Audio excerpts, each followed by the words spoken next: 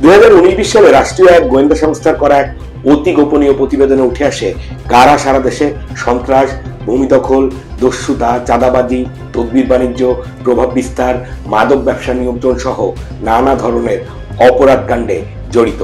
সেই প্রতিবেদনে দেশের আলোচিত গডফাদারদের পাপের খতিয়ানও উঠে আসে। সেই প্রতিবেদন থেকে আজ আমরা প্রকাশ করছি মাদারীপুর দুই আসনের সংসদ সদস্য শাহজাহান খানকে নিয়ে বিশেষ প্রতিবেদন। শাহজাহান খান সবই খান।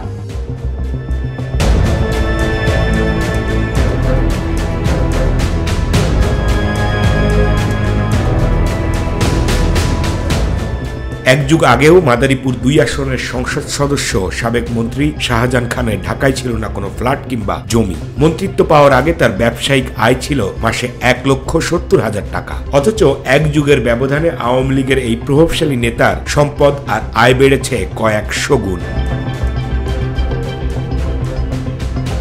নবম, দশম এবং একাদশ জাতীয় সংসদ নির্বাচনে জমা দেওয়া হলফনামা বিশ্লেষণ করে দেখা যায়, শাহজাহান খানের তখনই সম্পদ বেড়েছিল তিরানব্বই গুণ। ঢাকা শহরে এক ডজন ফ্ল্যাট, প্লট, জমির মালিক তিনি এবং তার স্ত্রী সন্তানরা। বেড়েছে তার স্ত্রীর সম্পদ এবং আয়। গড়েছেন শত শত কোটি টাকার ব্যবসা। দু সালে রাষ্ট্রীয় একটি গোয়েন্দা সংস্থার করা এক অতি গোপনীয় প্রতিবেদন বলছে, অবৈধ টাকায় শাহজাহান খান এখন সার্বিক গ্রুপের মালিক। সার্বিক পরিবহনের শতাধিক যাত্রীবাহী বাস এবং দুটি পেট্রোল পাম্প আছে তার। হোটেল ব্যবসা, শিপিং ব্যবসা, প্রিন্টিং ব্যবসা, কনস্ট্রাকশন ব্যবসা, সেতু ইজারা থেকে শুরু করে সারা দেশের সড়ক ও নৌপথে চাঁদাবাজির একক গডফাদার শাহজাহান খান। গোয়েন্দা সূত্র তথ্য দিচ্ছে, শাহজাহান খান তিন হাজার কোটি টাকার মালিক।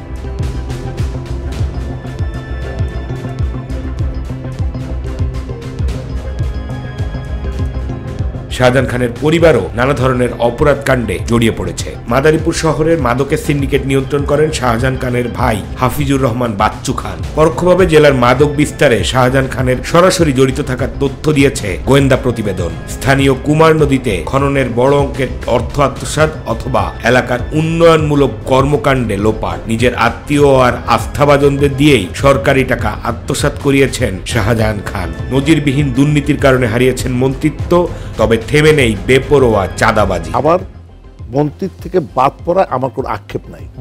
একসময় জাসদের রাজনীতি করা শাহজাহান খান মাদারীপুর উপজেলা নির্বাচনে আওয়ামী লীগের বিরোধিতা করে তার আপন ভাইকে নৌকার প্রার্থীর বিরুদ্ধে দাঁড় করিয়ে জয় ছিনিয়ে আনেন। শাহজাহান খানের ছোট ভাই কালু খান মাদক মামলার আসামিদের পক্ষে আদালতে প্রভাব বিস্তার করে বিচারকদের দিয়ে রায় করান। সরকারি ভূমি দখল, স্থানীয় সালিশ ব্যবস্থায় প্রভাব বিস্তার, মাদক সিন্ডিকেট নিয়ন্ত্রণের অভিযোগ কালু খানের বিরুদ্ধে, যা উঠে এসেছে সেই গোয়েন্দা প্রতিবেদনে।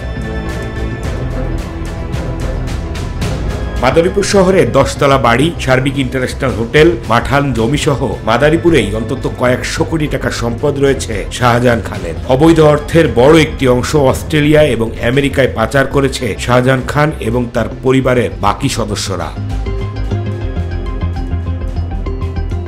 দলীয় কোন্দল এবং সরাসরি বহুবার আওয়ামী লীগের প্রার্থীর বিরোধিতা করেছে শাহজাহান খান। শাহজাহান খানের কারণে এলাকায় মার্ডারও হয়েছে। অথচ সেই আওয়ামী লীগই শাহজাহান খানকে দু হাত ভরে অবৈধ সম্পদ অর্জন আর টাকা আয়ের পথ করে দিয়েছে।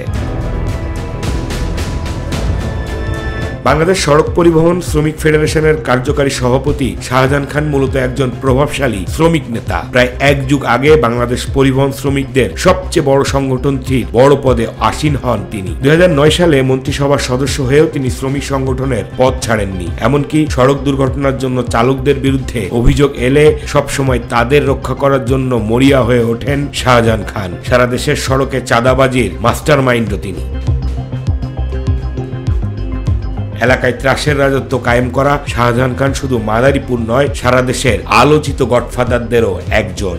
যিনি সড়কে রক্তে লাল হওয়া টাকাও খান, রাষ্ট্রের জনগণের টাকাও খান, আবার এলাকায় মাদক ব্যবসা অথবা উন্নয়ন কিংবা নদী খননের টাকাও খান। তাই বলাই যায়, শাহজাহান খান সবই খান।